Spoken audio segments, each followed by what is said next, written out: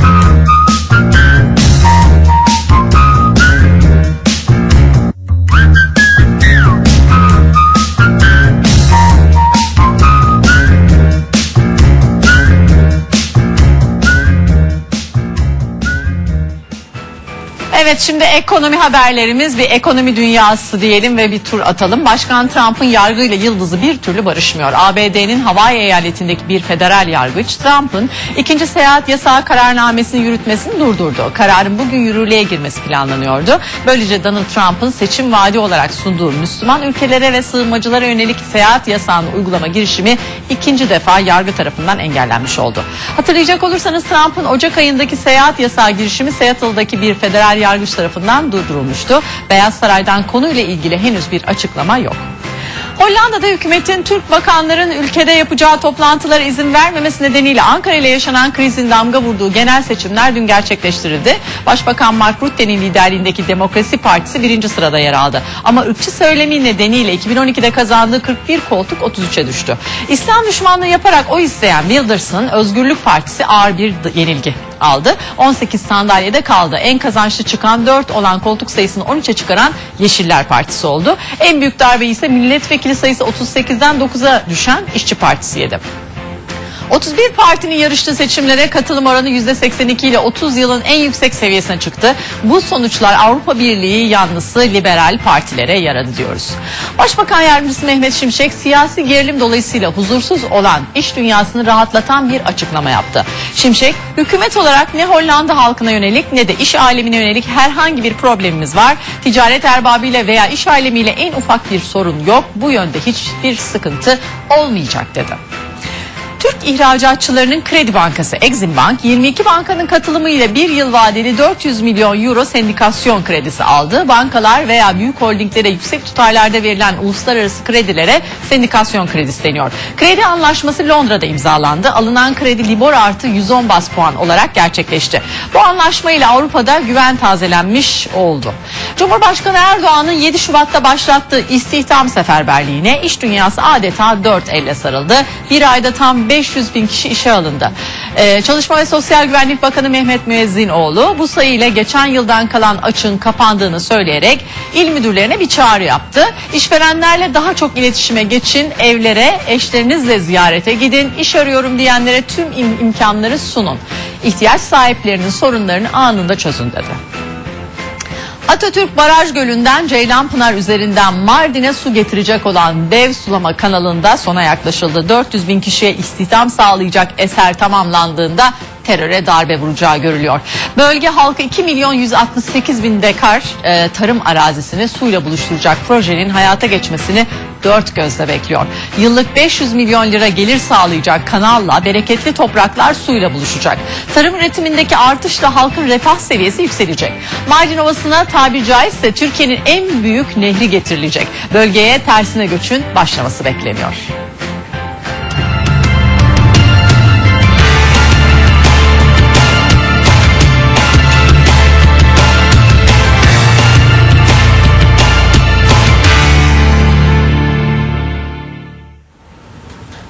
Evet bu sabah meyve sebze fiyatları için bu kez neredeyiz? İstanbul'dayız ve ekip arkadaşım Vahap Kartal İstanbul'da bir pazarda bizi bekliyor. Günaydın diyelim Vahap'a. Hem meyve sebze fiyatları hem de balık fiyatlarını bu sabah bize Vahap e, vereceksin.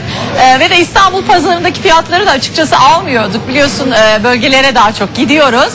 E, İstanbul'da durum nasıl diyelim ve söz sana bırakıyorum.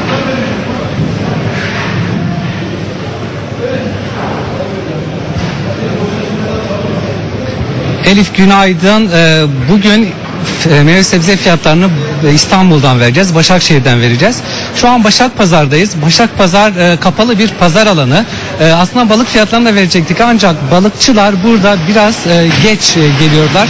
Saat 12'den itibaren başlıyorlar. Onun için balık fiyatlarını veremeyeceğiz ama e, meyve sebze fiyatlarını sizinle paylaşayım istiyorum. Hemen başlayalım. Salatalık 7 liradan burada alıcı buluyor.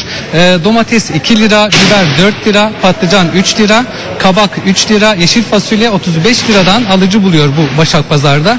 Karnabahar 5 lira, havuç 1,5 lira, ıspanak pırasa 1,5 lira, yeşillik 1 lira, mor lahana 3 lira, pazı 2 lira, patates 2,5 lira, soğan 1,75 e, lira e, kuruş e, liradan alıcı buluyor. Meyve fiyatlarına geçelim isterseniz. Çilek 15 lira, mandalina 5 lira, portakal 3,5 lira, avokadonun tanesi 5 lira. Yerli muz bu hafta çok pahalandı. 4 liradan 7 liraya yükseldi bir anda. Elma 3 lira, nar 4 lira. Badem yeni çıktı biliyorsunuz yeni bir ürün o da 20 lira. Ee, ayva 5 lira Amasya 50 lira. elması da çok Badem alıcı buluyor. Çok rağbet bademe. görüyor. Onun da fiyatı 5 liradan alıcı buluyor diyelim. Ee, bu fiyatların akşama doğru biraz daha ucuzladığını aktaralım. Ee, ve sözü sana bırakalım Elif. Vahap çok teşekkür ederim. Geçen gün Antalya'da badem 50 liraydı. Bence biz daha iyiyiz İstanbul olarak 20 lira e, seviyesiyle. Teşekkürler. İyi çalışmalar diliyoruz.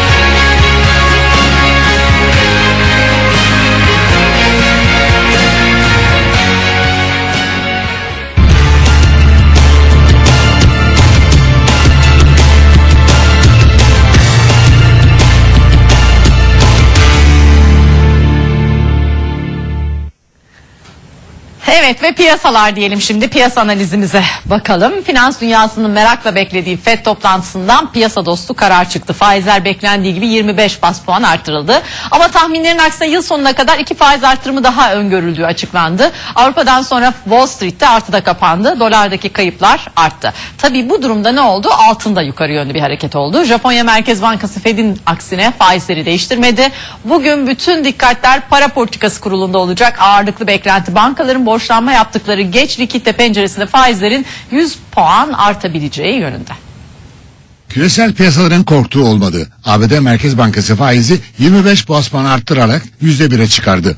Yıl sonuna kadar iki faiz arttırımı daha olacak dedi. Başkan Yalın düzenlediği basın toplantısında faiz artışının ekonominin ilerleme kaydettiğini gösterdiğini ancak ekonomik görünüme ilişkin değişikliği yansıtmadığını bildirdi. Fed Başkanı ayrıca ekonomik tahminlerin Aralık ayından bu yana çok az değiştiğini kaydetti. Fed'in faiz kararı ve Yellen'in açıklamalarının ardından vadeli piyasa verileri bu yıl yalnızca bir faiz arttırımı daha olmasını fiyatlıyor. Dört faiz arttırımı bekleyenler hayal kırıklığına uğradı.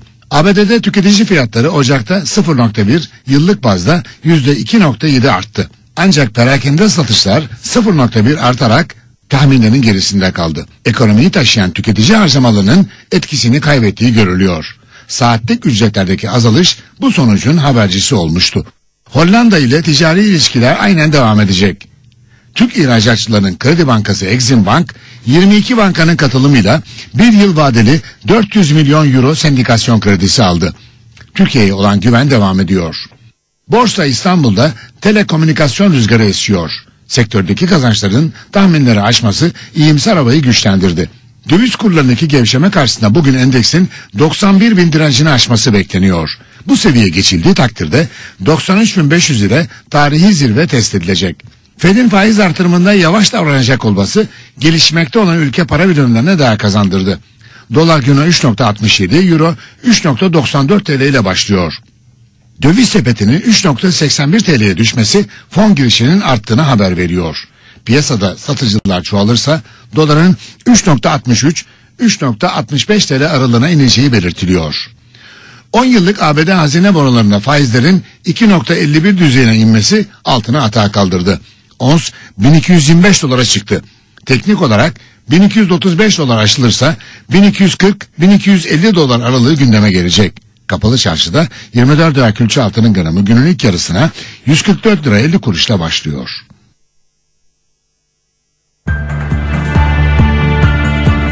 Günaydın, iyi sabahlar. Ben Elif Saygıver. Türk lirası değer kazanıyor. Hemen bir kısaca göz atalım şimdi. Yaşam felsefesi ise verdiğiniz kadar varsınız.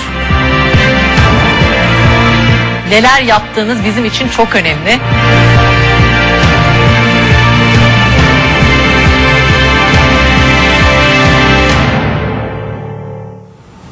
Evet stüdyo konuğumuz Pir Reis Üniversitesi Rektörü Profesör Doktor Oral Erdoğan'la birlikteyiz. Günaydın Oral Bey nasılsınız? Sağ olun, iyi yayınlar. Teşekkürler. Bir gazetelere bakalım. Evet. Ee, ondan sonra da Oral Erdoğan'la e, değerlendirelim gündemi. İlk gazetemize bakıyoruz şimdi. Yeni Şafak gazetesiyle başlıyoruz. Evet. Kendi korkularının içinde boğuluyor. Cumhurbaşkanı Erdoğan Avrupalıların kabusunun e, darbe ve krizlerle dize getirdikleri Türkiye'nin koşar adım hedeflerine ilerlemesi olduğunu söyledi. Erdoğan Avrupa kendi korkularının içinde boğulmaya doğru gidiyor. Türk korkusu, İslam korkusu aldı başını gidiyor. Kendilerinden olmayan her şeyden korkuyorlar dedi. Ee, evet o aktibozun sana ne oluyor manşetleriyle e, verilmiş. Hayır seferberliğine çıktılar. Artıyla, e, atıyla itiyle insanlık dışı duvar. E, değerlerini ayaklar altına aldılar. Her şeye düşman kesiliyorlar. Avrupa Birliği'nin içinde boşalttılar şeklinde ana manşetlerle haberin detayları veriliyor ve sabah gazetesiyle devam ediyoruz. 11,5 milyar doları yöneten global şirketler Konya için yarışacak. Dünya devleri güneşi Türkiye'de gördü. Türkiye'ye ve enerji sektörüne güven ihalelere de yansıdı. Yenilenebilir teknolojide global oyuncu olan ve 11,5 milyar doları yöneten 5 firma Konya Karapınar'da kurulacak güneş enerjisi tesis ihalesinde yarışacak yerelleştirmenin ilk adımı deniyor. E, Fed 2 faiz artırımı dedi. Dolar %2 geriledi. Yalından kademeli artış vurgusu dünkü Fed'in açıklamalarıyla ilgili yapılan haberde yer alıyor. Ve Milliyet Gazetesi 3. gazetemize bakalım şimdi. Ee, her şey çok iyi olacak deniyor. Üçüncü köprü, üç hava, üçüncü havalimanı, Marmaray, Körfez Köprüsü, Avrasya Tüneli, Türkiye'nin dev projeleri denildiğinde tüm bu işler gerek bugün gerekse gelecek adına umut verici yatırımlar deniyor haberde. Ee, ve bu mega projelerle ilgili olarak gelinen son nokta detaylı bir şekilde değerlendirilmiş. Vatan Gazetesi'yle devam ediyoruz. Bu sabahki son gazetemiz Vatan. Evet stoklar eridi. Konutta 240 ay vadeli kampanya stokları eritti. 5000 konutun satıldığı kampanyayla stok erime hızı %2'den %6,5'a çıktı. Son 16 ayın en yüksek seviyesine geldi. Tapuda harç %25 indi deniyor. Evde teşvik üstüne teşvik deniyor haberin detaylarında. 2.2 milyon ev kredisi konut kredileri son 6 yılda 168 milyar liralık hacme ulaştı. 2.2 milyon kişi konut kredisiyle ev sahibi oldu. Büyüme potansiyeli yüksek deniyor. Bu sabah gazetelerimiz bu yönde.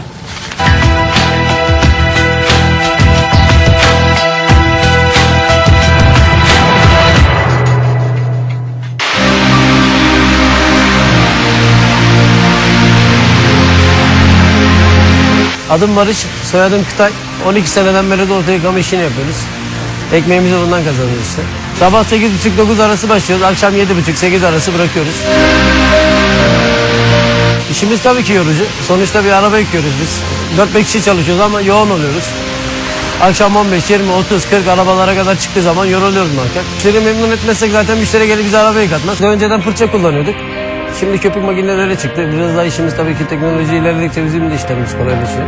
İyi kötü Allah'a çok şükür kazancımızı bundan kazanıyoruz. Evimize bundan bakıyoruz. Çoluk çocuğumuza bundan besliyoruz. Hayatımızdan beklentimiz evlatlarımıza güzel günler göstermek. Ailemize iyi, hayırlı bir evlat olmak. Yani çocuklarımızın hayırlı bir iş, iş güç sahibi olması.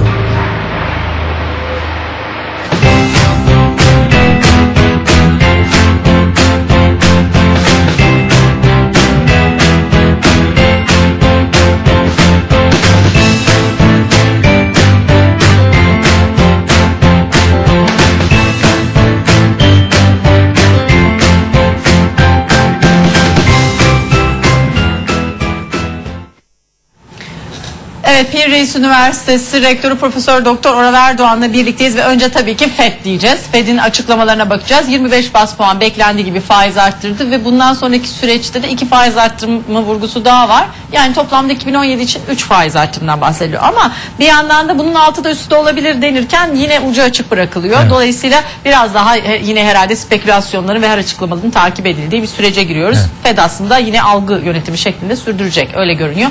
Nasıl yorumladınız e, söylemleri? Ee, beklenenin üzerinde çok e, farklı bir şey yok aslında. Ee, Fed'in açıklamalarının yanı sıra diğer ekonomik verilerde de yumuşatıcı gelişmeler olunca istihdamla ilgili taraflarda iş gücü piyasası ile ilgili e, dünya genel olarak barometre olarak gördüğü dövizdeki e, yansımayı dolar aleyhine döndürmüş oldu. Bu yani aşırı bir sert beklenti yerine daha makul bir e, realizasyonu gösteriyor en azından. Bir de ayrıntıları çok fazla tabii gündeme kamuoyuna e, gelmedi diye görüyorum. TRT'de en azından daha net gelmiş olacak. E, projeksiyonlarına baktığınız zaman orada biliyorsunuz Fed'in e, kendi hazırladığı e, geleceğe yönelik e, enflasyonda, ekonomik büyümede, faizde medyan noktalar belirlenir. Aslında e, Yalın'da e, buna i- atıfta da bulunuyor. Medyan noktalardan bahsediyor. Özellikle faiz hedefiyle ilgili olan tarafına baktığında 17 tane tahmin noktasından 9 tanesinin e, sene sonu için 2017 sonu için 1.25 ile 1.5 arası fonlamayı beklediğini gösteriyor. Bu %50'den biraz daha yüksek bir olasılık e, olmuş oluyor. Yani bunu gidip de %100 olasılıkmış gibi görmek yerine büyük olasılıkla 2017 sonuna kadar borç alma 1.25, borç verme 1.50'ye çıkabilir e, kanaati var iken diğer taraflara baktığımızda 17'de 4 kadar bir görüntü nokta olarak kendi projeksiyonlarında e, 1.50-1.75 bandına da işaret ediyor. Ama daha aşağısı e, daha az noktayla ifade ediliyor. Yani e, büyük olasılıkla 1.25-1.50'ye kadar yani iki e, kademe daha arttırmanın olasılığı üzeri yapma ihtimali daha aşağı olmaya göre biraz daha yüksek. Bir elliye Evet. gitme ihtimali daha yüksek. Yani e, bir, bir kere yapmaya göre üç kere yapma ihtimali biraz daha yüksek ama. Ama genel olarak da en yüksek olasılık iki kere yapma durumu. Yani 1.25 borç alma, 1.50 borç verme şeklinde görün, görünüyor. Üstü de olabilir, altı da olabilir. Bunları önümüzdeki dönemdeki veri gösterecek.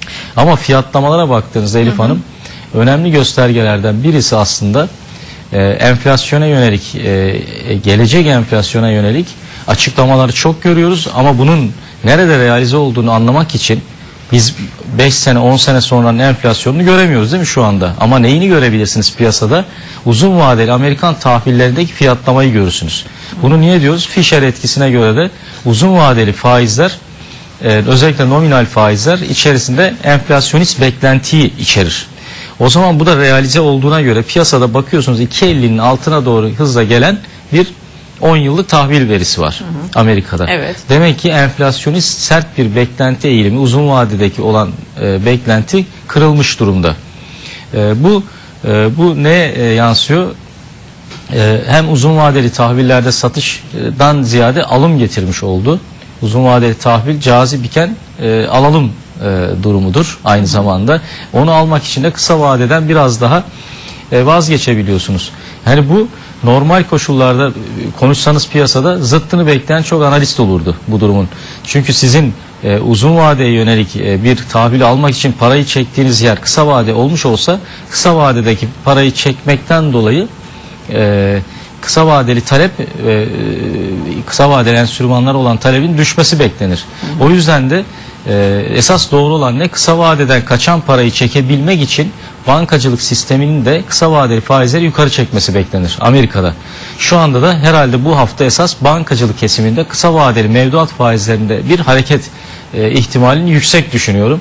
Bunu da zaten e, Amerika Merkez Bankası bir anlamda proaktifte davranarak faizi biraz yukarıya çekmiş durumda. Evet peki şimdi tabii önemli soru aslında bundan sonra o zaman dolar endeksi bağlı e, gelişmekte olan ülkelerde o zaman bir iyimser hava yakalanabilir mi? e, Türk lirası değerlenir mi? Çünkü dolar endeksinde bir hareket var. 3.67'ye doğru da bizde TL dolarda bir düşüş yaşandı. E, bu ne anlama geliyor? Biraz önce çok net teknik tarafına e, açıklama getirmeye çalıştım. Piyasa açısından e, daha çok beklenen dolar TL tarafı Türkiye açısından. Evet. Ee, onun bir, e, bir kere e, reel kur açısından konuşmak istiyorum Elif Hanım. Önceden Merkez Bankası çok atıfta bulunurdu e, reel kur endeksimize. Bakardınız oraya göre bakarsak e, TL %17-18'ler üzerinde bir düşük değerde görünüyor. Önceden aşırı değerli olduğunda müdahale ettiği zamanları da gördük Merkez Bankası'nın. Ama şimdi bakıyorsunuz değerinin aşırı düşük olduğunu kendi açıkladığı reel kur endeksine göre görüyoruz. Ne kadar? E, %17-18. Ama burada bir hamle görmüyoruz ve bunu doğru görüyorum ben Merkez Bankası açısından. Çünkü dolar eğer öyle olmuş olsa %17-18-19 civarı bir düzeltme yapmaya kalksa 3.1'lere kadar doların Türkiye'de düşme olasılığı da var dememiz gerekiyor. kadar dedin? 3,1 3.68 3.10. değil 3,10 ihtimali bile reel kur endeksine göre sadece dolar bazlı kaynaklanana göre konuşum. Euro dolar paritesini bir anlamda ceteris paribus değişmezse gibi kabul ettim ama yani bu ortalama bir yer tahmini yapıyorum. E, Bu, bu e, Merkez Bankası'nın önümüzdeki günlerde bir taraftan aşırı faizi artır baskıları bir taraftan inmesi mi gerekiyor? Kafası Ne karışmış bugün? durumda. O etkili olacak. Hani bugün esas bizdeki karar etkili olacak. Ben hazır konjonktür arkanıza gelmişken Türkiye'nin acil döviz sıkıntısı bir durumu bankaların likidite sorunu gibi bir sorun olduğunu e, şu anda görmüyoruz. Böyle bir atmosferde sizin geç likitte faiziniz %11 iken uzun vadeli faizler de %11.2'ler 3'lerdeyken az üzerindeyken geç likiditeden henüz fonlama imkanınız devam ediyor demektir. %11'den. O zaman bunu ne diye gidip de %12 yapmaya kalkabileceksin? Gerek olmayabilecektir diye inanıyorum. Olsa olsa Böyle bir belki var çünkü ama. birisi bir gecelik fonlamadır. Birisi 10 yıllık e, tahviller, 2 yıllık tahviller, o 11'in az üstü olanlar ise e, adı üstünde vadesi uzundur. O zaman bizim günlük zaten fonladığımız maliyetin bileşik faizini alırsanız uzun vadeye o faizin üzerine gider. 11'den borçlanıp da her gün her gün döndürebilir misiniz? O zaman zaten Merkez Bankası likidite sorununu görür. Ona göre davranır ve onun içine istisnai günler gibi gün, e, yeni politikalar uygular. Başka e, başka araçları da devreye sokabilir. O yüzden e, Türkiye'nin yumuşak atmosferinde ön almak için de bir gerekçe mi var acaba faizi artırmak için? Ben onu da görmüyorum. Geriye ne kalıyor? Enflasyon verisi. Üfede tüfede çekirdek enflasyonda sıkıntı var. Ocak, Şubat verileri. Olsa olsa bir kere daha Mart ayı gelebilir. Bu sene inanın e, tahıl ürünlerinde çok ciddi bir rekolte yükselmesi olacak gibi görünüyor açıklamaları okuduğum kadarıyla. Oradan dolayı da bir yumuşama, yumuşama olacaktır. Petrolde de her şeye rağmen anormal bir yukarıdan ziyade Aşağı. 50 dolarlara bile gevşeyen de bir durum yansıması olacak. O zaman Enerji Mart, fiyatları aşağı Mart'ta çok sıkıntılı veri gelmeyecek gibi hissediyorum. Merkez Bankası bize göre bunları tabii daha iyi öngörecektir. Hani onlar ne yapar bilmiyorum. Ben olsaydım e, indirmeyi bile düşünebilirdim. Yani o zaman genel olarak Ama 2010 hangi faizi olduğunu sormadınız. yani bir borç alma Peki, var, verme var. hangi faizi? Politika faizi var. Evet, ha, politika faizinden bahsetmiyorsunuz herhalde benim anladığım. Politika faizini Gecelik faiz var. Ee, özellikle şu anda e, dokunabileceği tahminim. E, geç likitte de belki e, 25 bas puan ya da 50 bas puan düşünebilir. E, ama hazır e, iki tarafta çok baskı ortamı varken dokunmadan geçme eğilimi yüksek olacakmış gibi hissediyorum. E, artık ayrıntısını onlara bırakalım. Bağımsız bir Bakalım ne Merkez çıkacak Bankası. bugün. Evet doğru haksız. İşleri de kolay değil gerçekten Evet. çünkü e, bir sürü de yorum geliyor. Siz de zaten artık bir varlık fonu yöneticisi olarak Evet. değil mi? Daha da iyi anlıyorsunuzdur Merkez Bankası yöneticilerini. Fark etti mi varlık fonuna girdikten sonra işin hani diğer tarafında olduğunuzda?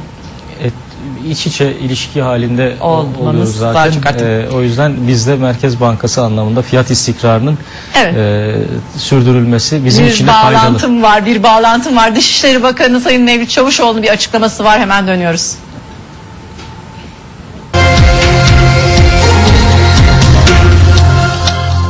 Rüyalarında eskiden hayal ettiğin Türkiye olabilir ama bitti o. Uyan, uyan. Geçti artık. Türkiye kimsenin kontrolünde olan bir ülke değil. Türkiye kararlarını kendisi verir. Türkiye yanlışa yanlıştır. Hem de yüzüne der, yüzüne. Arkasından konuşmaz. Artık Türkiye ile nasıl ilişki kuracağınızı öğreneceksiniz. Hükmedici konuşmalardan vazgeçeceksiniz. Türkiye hükmeder. Türkiye çünkü 2 milyar ümmetin de temsilcisidir. O yüzden siz Türkiye hükmedici konuşamazsınız. Adam gibi konuşursunuz, ricacı olursunuz, otururuz, konuşuruz, anlaşırız, işte yaparız, siyasette yaparız, işbirliği de yaparız. Biz her şeye varız. Yalnız bize nasıl davranacağınızı öğreneceksiniz. Siz öğrenmiyorsanız biz size öğreteceğiz. İtinayla öğreteceğiz. Bu kadar basit. Şimdi referandumda taraf tutuyorlar. Neyin tarafını tutuyorlar? Hayır. Ben size soruyorum. Avrupa'daki ülkeler burada sanayicilerimizi çok sevdiği için mi, sizi çok düşündüğü için mi hayır destekliyor? Avrupa'dakiler Müslümanlara bayıldığı için mi hayır diyor? Avrupa'dakiler Türkleri çok sevdiği için mi? Türkiye'nin güçlü olmasını istediği için mi hayır kampanyası başlattılar? Tam tersi. İşte biraz önce söylediğim Türkiye daha da güçleniyor, daha da güçlenecek. Ondan hayır kampanyası başlattılar. Niye taraf tutuyorsunuz Türkiye'deki bir seçimde? Neden? Neden karışıyorsunuz? Benim milletime akıl vermeye yani nereden cesaret buldun? Bizim milletimizin aklı yok da senden mi akıl alacak? Almanya'nın, Hollanda'nın, Avusturya'nın, İsviçre'nin gazetelerinden ve siyasetçilerinden mi akıl alacaksınız siz? Kendi ülkemizin geleceğiyle ilgili kararı biz veririz. Demokrasi varsa milletin önüne gider, sözde karar da milletindir. Niye rahatsız oluyorsunuz bundan? İşte Hollanda'da seçim bitti. Aldıkları oylar birbirine yakın. Yüzde on yediler, yüzde yirmiler böyle birçok parti. Ama bir bakıyorsun sosyal demokratla faşist Wilders arasında da hiçbir fark yok. Hepsi aynı kafa. Aynı kafa. E nereye varacaksınız siz? Bu Avrupa'yı nereye götürüyorsunuz? Çökertmeye başladınız Avrupa'yı. Avrupa'yı uçuruma götürüyorsunuz. Yakında Avrupa'da din savaşları da başlar. Başlayacak bu gidişle öyle. Eskiden bunlar 100 sene savaştı. Avrupa'nın tarihini aç. Önlerine koy. Bir gram utanma varsa birbirlerinin yüzlerine bakamazlar. Avrupalılar. Farklı dinlerden oldukları için yüz yıl birbirlerini kestiler. Ama sonra bundan ders alındı. Avrupa Birliği kuruldu. Avrupa Konseyi. E şimdi tüm bunlar yok edilmeye başladı. Avrupa o eski günlere gidiyor. İkinci Dünya Savaşı öncesi. Bunu söyleyince de alınıyorlar.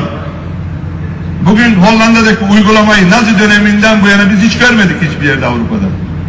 İkinci Dünya Savaşı'ndan bu tarafa hiç görmedik bu uygulamayı. E bunu ben mi uyguladım? Ben mi yaptım? Hükümet yaptı.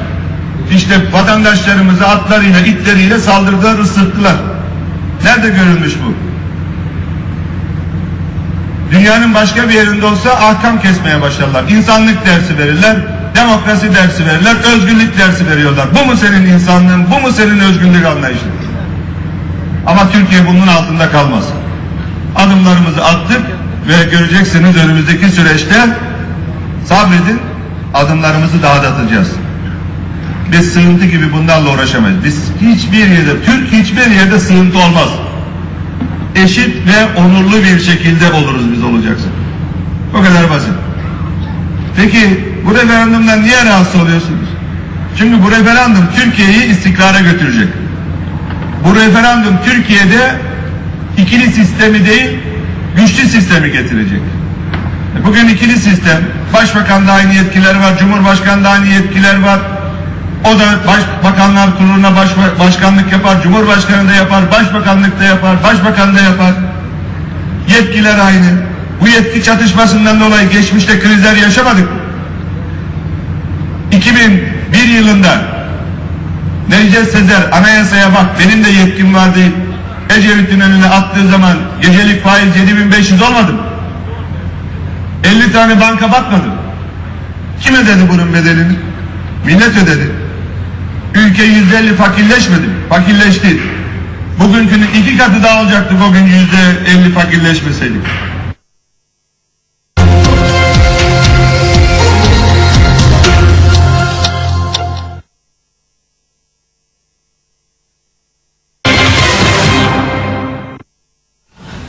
Evet stüdyo konumuz Pires Üniversitesi Rektörü Profesör Doktor Oral Erdoğan'la e, devam ediyoruz. Az önce Sayın e, Çavuşoğlu'nun açıklamaları var. Gerçekten sıcak bir gündem. Hollanda ile siyasi bir gerginliğimiz var. E, sesi, seçim sonuçları aslında e, pek onların istediği gibi olmadı. Müslüman ve İslam karşıtı e, söylemlerin pek tutmadığını görüyoruz. E, ne dersiniz Yani yani? çok ayrıntıya girmeye gerek yok. Hollanda Türkiye'nin çok güçlü dostudur. Sayın Şimşek de Bakan Bey ifade ettiği gibi ben öyle düşünüyorum. İş alemi açısından, e, insanlar açısından, halklar açısından hiçbir şey e, dünkü gibi neyse pozitif bugün de aynı şekilde diye düşünüyorum. Devletler arasında bazen e, e, taban kesimini aşan gelişmeler olabiliyor. Bunları zaman içinde daha iyi anlamak mümkün oluyor. En azından Alma, e, Hollanda seçim sistemi de netice itibariyle Türkiye ile ilişkilerin iyi gideceğine yönelik ciddi mesaj verdi diye düşünüyorum. O çok önemli oldu Evet. yani bu sonuç çok önemli oldu çünkü tam bir İslam karşıtlığı, Türk karşıtlığı söylemler Yani acaba güçlenecek buna- miydi diye çünkü başka seçimler de var Avrupa'da. Şimdi o, bunlar Herkes gerçekten cevabını enteresan. aldı. Hepimizin çok anormal iyi ilişkileri var. Yani özellikle de Hollandalı e, dostlarımız çok fazla. E, aynı şekilde diğer ülkelerle de. Ama bir anda bakıyorsunuz çok azınlıktaki bir kitleyle e, oluşan e, bazı olumsuz e, durumlar e, gündeme geliyor. Şu anda dün nasıldı bugün nasıl? Mesela Rusya ile gerçekte Türkiye çok anormal iyi ilişki içerisinde. E, ki Almanya ile ilişkinin kötü olacağı diye bir durum olamaması gerekirken e, beklenmedik gelişmeler olabiliyor ama inanın ilişkilerin olumsuzluğunu yaratan taraf biz olmayalım yeter. Bunlar olacaktır devletler arası konularda. Evet yani e, gerçi ekonomide e, sözü geçen işte bakan ve bürokratların da yine açıklamalarına Evet. bakıldığında ilişkilerin ekonomik boyutunun bir hal almayacağı olumsuz Yok, anlamda ben de ifade öyle edildi. diyorum. Dolayısıyla geçici bir gerginlik olarak Evet, değil mi? Sayın Başbakan'la e, Sayın Başbakan'la Hollanda Başbakanı'nın da temaslarda bulunduğu Evet. söyleniyor. Hani bizim tarafımızdan bir şey söylenmiyor da Hollanda gazetelerinde yer alıyor açıkçası. Oradan da gelen söylemler öyle çok olumsuz değil. Yok, Halledilebilir gibi görünüyor. Yani Öyle bu yönde Yani haberler geliyor. diye düşünüyorum ben. Hallettik diye düşünüyorsunuz. Evet. Tamam. Oral Erdoğan hallettik diyorsa bir bildiği vardır. Hallettiğimizi tahmin ediyorum. tamam. Ve iş- işsizlik rakamları çok kötü. Yani artık %12'lerde işsizlik çok kötü. E, istihdam seferberliği müthiş bir proje. E, bu konuda bir hareket var. Önemli sayıda işe alım söz konusu ama bu işsizlik rakamlarına bakıldığında bu işe alımlar da bunu durdurabilir nitelikte değil. Daha da artacak mı işsizliğin önüne nasıl geçirecek? Yani işsizliğe kısa vadeli çözümler ayrı, uzun vadeli radikal çözümler ayrı olmasında yarar var. Kısa vadeli de olsa e, biliyorsunuz zaten Sayın Cumhurbaşkanı da çok net devreye girdi ve ciddi bir reform gibi bir e, çağrı var ortada. E, niye var? Çünkü Türkiye gerçekten e, son dönemde e, e, bence son 10 senede aslında biraz sıkıntılı giden tarafı e, cari açıkla büyümeye mahkum edilen bir ülke konumuna sokulduk. Buradan kurtulmaya çalışıyoruz diye düşünüyorum. Bu bu çerçevede zaten varlık fonunda çok önemli bir adım diye görüyorum. Onu bu arada not etmek istedim. E, Türkiye makroekonomik olarak e, istikrarlı bir yapıya geçmek istiyorsa bunun bazı fedakarlıkları olacaktır diye inanıyorum. Bunlardan bir tanesi bir verisi de e, işte az önce söylediğim gibi son 10 senede özellikle imalat sanayindeki gayri safi yurt içi hasıladaki oranın yüzde 16'lara gelmiş olması, bu seviyelerde kalması gerçekten Türkiye'ye yakışmıyor. Türkiye bir imalat ülkesi olması gerekirken hizmet ülkesine daha fazla dönerse bir birim mal üretip de bu bir birim maldan dolayı 3 birim, 5 birim, 10 birim finansal para hareketi olursa krizlere gebe kalırsınız. İkinci bir açıklama bir birim üretim yapıp da o üretimi yapanlar yüzde on bile kazanamaz iken o üretime finanse edenler kar marjlarını anormal artırabiliyorsa montanlı kar birikimli karlar yapıyor ise yani finans kesimi burada sorun vardır. Türkiye finans sistemindeki yapısal bozukluğunu çözmek zorundadır. Sermaye piyasası enstrümanlarında genişleme, çeşitleme, derinleşmelerin sağlanması gerekmektedir. Tasarruflarımız bence bizim yeteri kadar olmasına rağmen tasarruflarımızın doğru yerlerde kanalize edilip de doğru yatırımlara dönüştürülmesinde sorun yaşanıyor. O yüzden Yani bu konuda bir, bir sürü e, alternatif e, ortaya koyuluyor biliyorsunuz yani işte şimdi yeni yeni koymayla koyulmaya uğraşıyoruz. başlandı. Bunların anlatılması, bunların e, anlaşılması, hayata geçmesi Evet. yani hiç kolay işler değil bunlar. Ee, bu e, biraz önce soruyu açtığınız için yani kısa vadeli tedbirler açısından tabii ki bir takım şeyler yapılıyor ama orta uzun vade için daha fazla şeyler yapılması gerektiğine inanıyorum. İstihdamda e, kaliteyi yukarı çekmek yönünde e, sadece sayıyı artırmak değil yani istihdam sayısını değil aynı zamanda da doğru yere doğru kişinin gitmesini de sağlamamız gerekiyor ki ülkenin katma değerli üretim mekanizması sağlansın. İhracata yönelik bir ülke olmayı başaralım. Burada e, sadece her işe bir sürü adam alalımla çözüme gitmemiz e, geçici olabilir. O yüzden daha radikal çözümlerin rekabetçi anlayışla e, oluşmasında yarar var. E, bu anlamda COBİ'lere e, yönelik desteklerin rasyonelliği, e, tabii ki bu anlamda özellikle başta odalar, borsalar birliği olmak üzere birçok odaya görev düşüyor. Onlar da elinden geleni yapıyor. E, ben biraz da finans kesiminin e, banka hakim durumdan sermaye piyasasının öne çıktığı bir sürece geçmemizin yararlı olacağına da inanıyorum. Teşekkür ederim Profesör Doktor Oral Erdoğan ve hemen manşetlerine bakıyoruz sonlandırırken programı. Neler konuştuk? Ee, Amerika'da faizler yıl sonuna kadar 1.25-1.50 aralığında gerçekleşecek dedi. Gerçekleşebilir dedi Profesör Doktor Oral Erdoğan. Amerika'da uzun vadeli faizler enflasyon beklentisini gösterir. Reel kur endeksine göre dolar TL 3.10'a inme ihtimali e, söz konusu. Merkez Bankası'nın bugün geç likitte penceresini arttırmasını beklemiyorum. Bu sene Türkiye'de rekor rekolte artışı yaşanacak. Enflasyon e, tahılda dediniz bunu değil mi? Tahılda özellikle. Tahılda özellikle dediniz. Düşüş olarak yansır. yansıyabilir dedi. Hollanda ile Türkiye arasında iş potansiyeli çok güçlü. Bozulmasını beklemiyorum. Cumhurbaşkanımızın başlattığı istihdam seferberliği işsizliği azaltacaktır. Türkiye'de sermaye piyasalarındaki çeşitliliğin artması gerekiyor, anlatılması gerekiyor. Ee, teşekkürler, sağ olun katkınız için. Yayının sonuna geldik ama yarın 9.15'te yine ekonomi gündemiyle karşınızda olacağız. Yarın TOKİ Başkanı var. Evet TOKİ Başkanı yarın gelecek. Dün yanlış bir anons yaptık. Ee, Profesör Doktor Oral Erdoğan Perşembeydi. Cuma günü TOKİ Başkanı'ydı. Dolayısıyla emlakla ilgili olarak beklentilerinizi yarınki programda bulabilirsiniz. Bizden ayrılmayın. Sabah görüşelim. Hoşçakalın.